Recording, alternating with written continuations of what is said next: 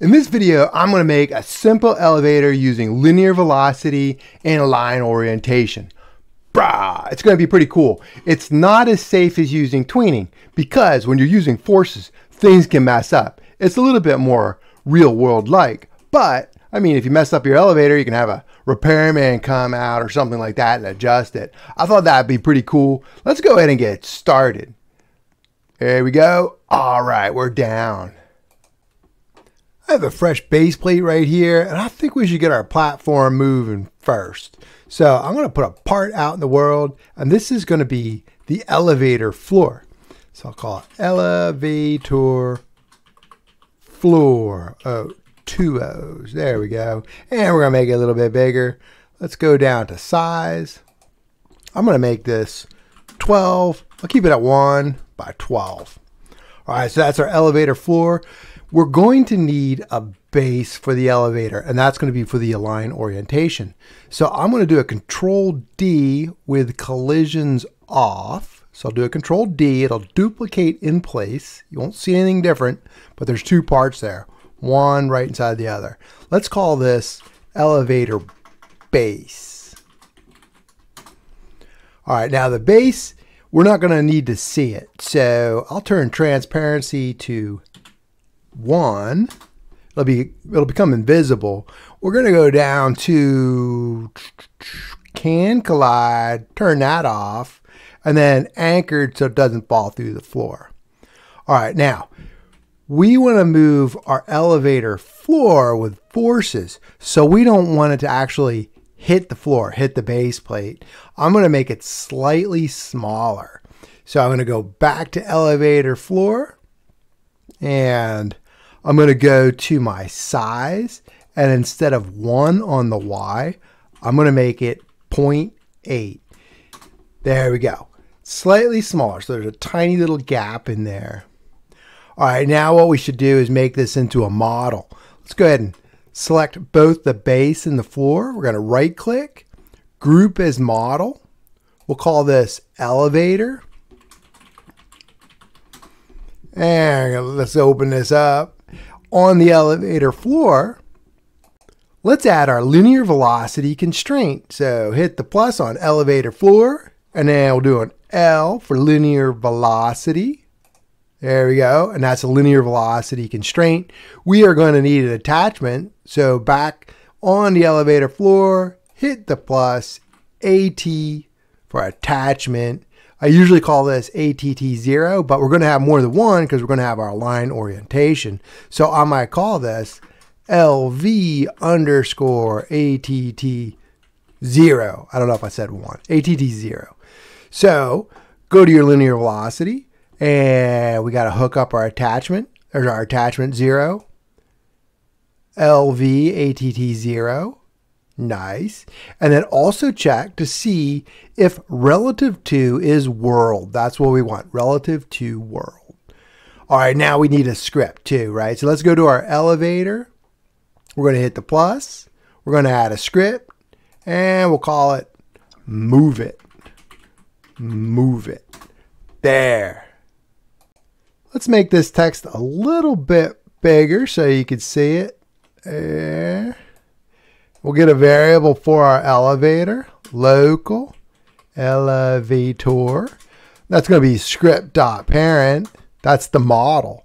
And let's get our floor. That's going to be the primary part where all the movement is going to be happening.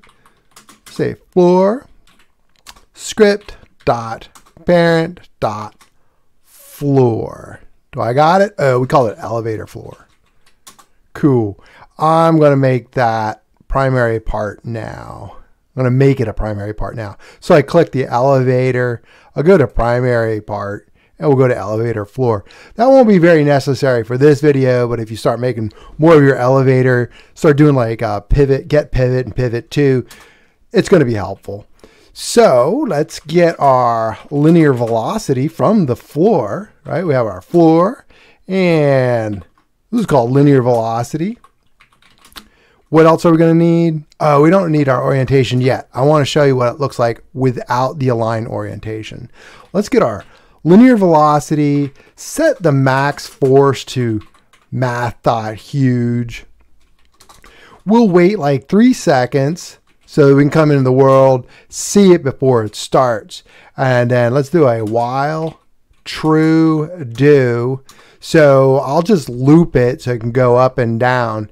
And at the beginning of each loop, let's wait two more seconds. That's good. That'll give us like five seconds to get in the game and see everything happening. So we'll do a move up first, right? We don't have any floors to put them on. Let's just try and guess, right? We'll get our linear velocity. And then we have our velocity vector we have to set. We have our floor part. And let's use the C frame of the floor part. Now remember, I did not mess with the orientation of the part, but we could run into trouble if you got creative on your parts. So I recommend clicking on the elevator floor, right clicking, and then let's look for show orientation indicator. Ah, there it is. See that little F right there? Well, that little green arrow is pointing up. That is the up vector of our floor. That's what we want. So the blue is is the front, right? This little blue F. That's the front, and then green is up. So if you just did a default pop it in the world, uh, the top is going to be up. But if you didn't, it could mess you up, and then you'll be mad, and you'll see like, ah, oh, man, your video doesn't work, brah. There we go. So we are going to go 10 studs per second up, right? And this is a unit vector. It's of length 1. So it's 1 times 10. We're going up 10 in 1 second. So we will run this for 1 second. It'll go up 10 studs. All right, then we'll get our linear velocity. We'll get the velocity vector. And then let's set that thing to zero after one second has passed. Now maybe we'll wait a second so people can get off, right? Now we have to set this up for buttons. So this is just a rough copy right here. We're going to put this in functions so you can send you can send like a 3 for third floor. That's what we want. That's our goal. Let's just go ahead and do a little note here saying move down Right. And then how do we move down? Oh, it's going to be a lot like moving up, right? Let's just go ahead and get this. Control C. Let's paste it. Control V. And what is the opposite of the up vector? The negative up vector. That's down. We're going to go for a second and then we're going to stop. And of course, stop is when the velocity vector is 0, 0, 0. So we're going to maintain a position. That's why it's stopping and waiting. Like right here, it's going to be on the first floor. It's going to be stopping and waiting. Well, second floor, right? We're going to start on the first. Let's go ahead and try this out. Let's go to our world, and then we'll hit play. There we go. And there's our elevator. Oh, it went up. And we're going to put a little floor at 10 studs just to make sure it's okay. But check this out. If I go over here, am I going to mess it up? Nope, not heavy enough, but we can mess it up. And this is why we're going to we're going to need our align orientation. If we plop a part down there, let's go ahead and move it. Let's make it a little bit heavier, right? So we got to make it bigger. And we'll make it metal so that it has more mass. Marble would have worked. All right, now let's go ahead and play this. See what happens.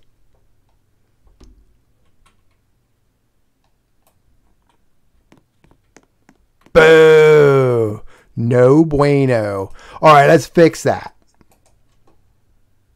So we're going to fix that by using an align orientation constraint on the floor. It's going to make the orientation align with some reference point. Oh, look at that.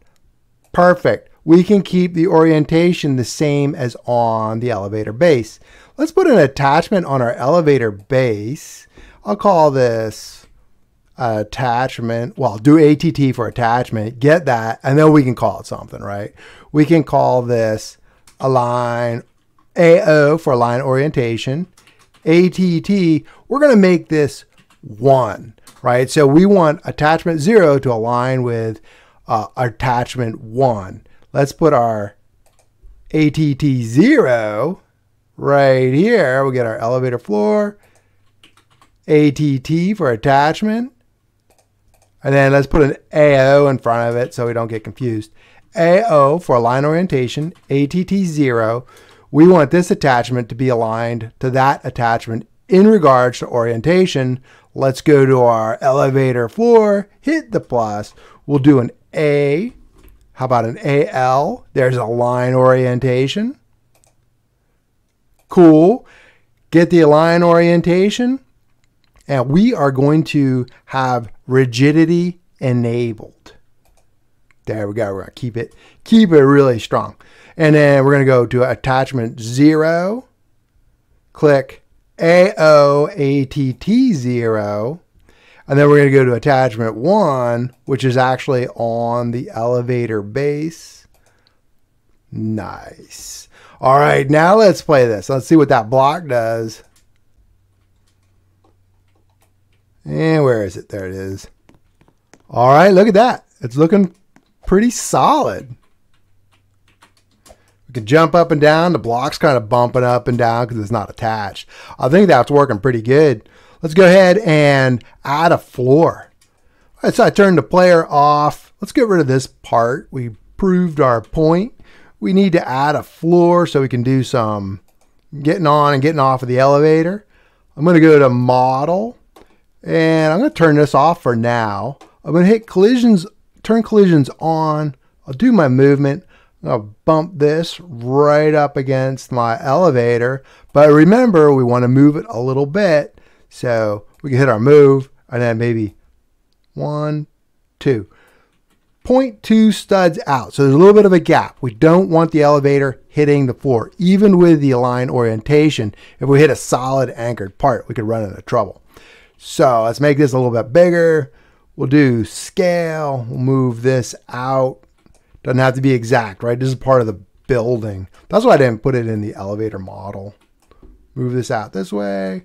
Cool. And should we make it the same size as the as the elevator base? As the elevator floor? Yeah, let's make the height the same. I think we had that at what, 0.8? 0.8. I didn't do that in the demo, so you could see that there was a little bit of a little bit of a discrepancy of the floors. That's not bad. All right, let's go ahead and anchor that. That's our part. So we don't get confused, let's call this a floor.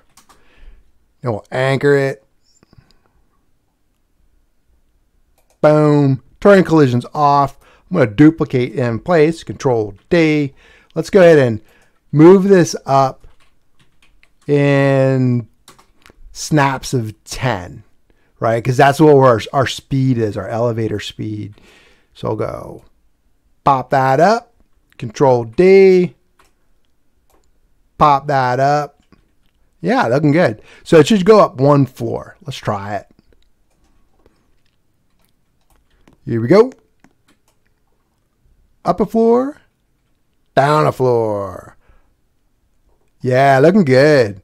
All right, I'm going to do a little bit of code cleanup. And you also have to remember that because we're using movement constraints, this could be messed up in game and you're going to have to have some way of recovering. Maybe we could do a follow up video. But what I want to do today is finish this off with uh, cleaning the code up so that you can send a two in from like a bindable event or from like a click detector, and then it'll go to the second floor, or send a three in and it can go from the first to the third right? We don't have very good code for that right now. In the movements, in the move it script, we just have this loop. Let's add a couple variables so we can do some floor calculations and go right to the floor we want. Let's do a local. I'm going to get a floor distance, right? Because we have this literal down here. We don't want literals. We want a variable. And I'm also going to get a variable for the current floor. I'm going to need to keep track of my floor. So current floor is 1. Let's make a function. And I'll call that move elevator. We're going to pass in the floors we want to move. All right. And that could be a positive or a negative number. So we're going to need a direction. Let's make a variable for the direction. We'll assign it 1. That's going to be up. It's a positive 1. But if the floors are less than zero, then direction will be negative one. How are we going to use that? We are going to grab, let's say this code right here. Let's just grab this. Control C, Control V. This is going to be our floor distance. Remember we made that 10. That way we don't have a literal in there. And then we'll multiply this by direction. Now we don't have to worry about putting the negative in front of here if we want to go down because it's going to be it's going to be here. Cool. What else do we need? Ah, wow. What if this is like what if the floors is like 3 floors? We're going to have to change our wait. So we would ideally want uh, the number of floors here, but if this is a negative 3, uh, we can't have a negative 3 seconds. We're going to have to do a math dot absolute value to get rid of the negative sign if it exists. So if it's a go down three floors, this is going to become three seconds right here. Cool. Do we have to do anything here? Anything else here? Yes. We have to change our current floor because we just moved floors. How much? Let's do a plus equal floors. So if it is a negative three, it goes down three. If it's a positive three, it goes up three. We can't go up and down three floors because uh, we don't have that many floors, but theoretically, we're not doing any checks here. I think I'm going to keep this wait two in between the loop. I'm going to keep the loop there. It's kind of cool. And I'm going to make a variable for our destination floor. This is what would come in with the click detector or through the remote event or something like that, depending on how you want to move your elevator. And then we want to calculate our floors to move. Floors to move. And we get our dest floor minus the current floor. So if we're on one and the dest floor is three, we want to move two floors. So then we'll do our move elevator floors to move. So we're going to go, default's going to be the first floor. We're going to go up to the third floor. And then let's go down. We will wait here a second. So I'm not going to put a wait here. Let's just do a cut and paste. Control C. Let's go down to the first floor and then maybe go to the second floor. So we're changing our dest floor, right? The destination floor. All right, let's see what we got. So we should go, we're going to start at one, go to three, down to one, up to two, and then start all over again at three. So from two to three. Let's see if it works, right? We're going to know if we're like halfway, halfway to the, uh, to the death point in the sky. Three, good. One, good. Two, nice three, one, two. I like it.